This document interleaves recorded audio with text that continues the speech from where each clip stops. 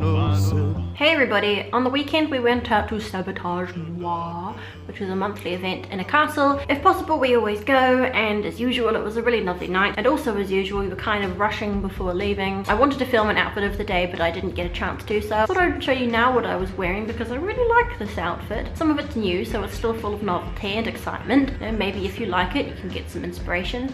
That's what like outfit of the day is for, right?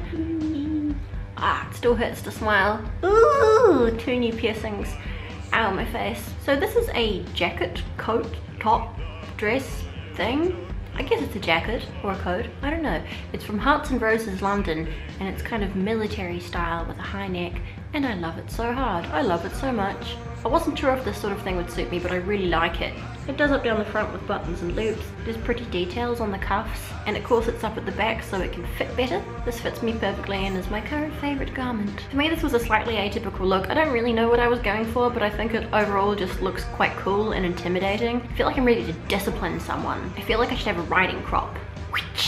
Stand up straight, spit out that gum, etc, etc. Posture, posture! On the bottom half I'm wearing a long heavy velvet skirt from the brand Intermodern. I will try to find everything online for you if possible and I'll list below where you can find as many of the items as possible that I'm wearing this time. Hope that helps. I wear the skirt quite often because I love it and it matches so many different things. And it's been really warm over the cold months. And even though it's warming up now, it's still a little bit cold. So underneath, I'm wearing my thermal fluffy lined leggings that are from As for jewellery, I felt like this outfit didn't really need much. I felt like more jewellery would kind of spoil it somehow. So nuzzled in my ear is this long bones earring from Alchemy Gothic. I think this is going to become an everyday earring for me. You know, one of those jewellery items you never take out because it's just perfect. It's subtle, but it's really cool and reflects my love of pirates and ossuaries, which is.